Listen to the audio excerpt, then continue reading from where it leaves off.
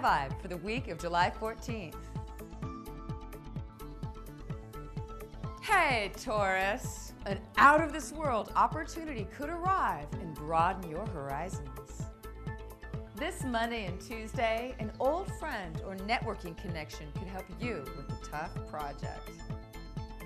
By Wednesday and Thursday, you can show what you know all day long, but your friendly attitude scores favors. Maybe that extra vacation time you need. And now, Taurus, are you ready for your weekend fun? The Capricorn full moon can make a dream reality. Take a class or a trip that stimulates your pleasures.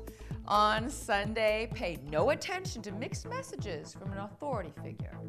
So, Taurus, be direct with your diatribes and make every week happen the way you want it to. Remember to check back soon for your weekly Sky Vibe.